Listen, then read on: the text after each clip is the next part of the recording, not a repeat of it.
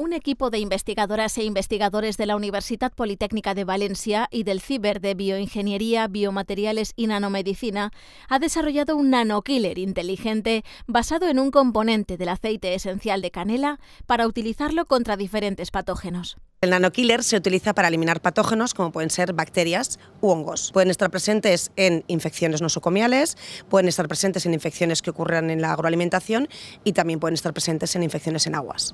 La aplicación de este nuevo nanodispositivo sería muy sencilla. Podríamos crear, por ejemplo, un spray y hacer una formulación basada en, agua y otros, y otros eh, compuestos y aplicarlo directamente por sprayado. Pues mira, por ejemplo, en campo lo que nosotros podríamos hacer es un formulado que tendría que tener base acuosa y lo que nosotros haríamos es directamente pues, fumigar como se utiliza cualquier eh, pesticida ahora mismo en, en campo. Y en los hospitales la aplicación se podría hacer de diferentes formas. Se podría aplicar directamente sobre vendas porque muchas veces estas infecciones pueden ocurrir en alguna herida que aparezca o en alguna infección y se podría incluso intentar hacer cápsulas que pudieran tomarse también vía oral.